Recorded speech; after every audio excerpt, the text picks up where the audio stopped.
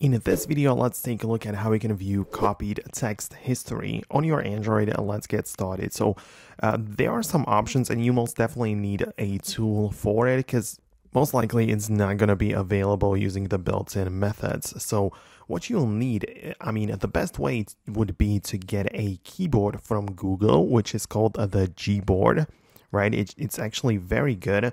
It has plenty of different features, and one of them is the dedicated history of copied text, which is called Clipboard. Right, so you can uh, go ahead and go to or download the app at first. Make sure you set it up, but once you do, you'll notice that um, the keyboard has a couple of different buttons and like features above it.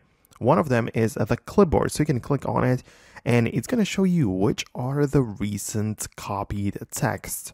Right, so whenever you copy something, it is going to be stored in this section of the keyboard so you can go into the past and check out the last copied items. It might be very useful, especially if you, you know, you cannot really copy two things at the same time because, you know, you copy something and then if you copy something else, it will be replaced in the clipboard when you paste it, but in here it gets stored really nicely. However, if you want to get a bit more professional with it, or if you use this feature a lot, there are dedicated clipboard apps on the Play Store. So you can go to the Google Play Store, look up clipboard, and check out some options.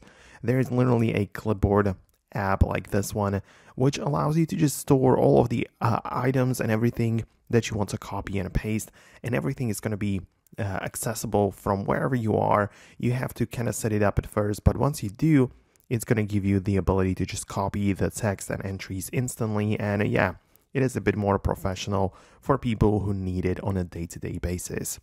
But that is going to be about it from me. I honestly hope that I can help you with this uh, topic, this problem. Let me know below in the comments.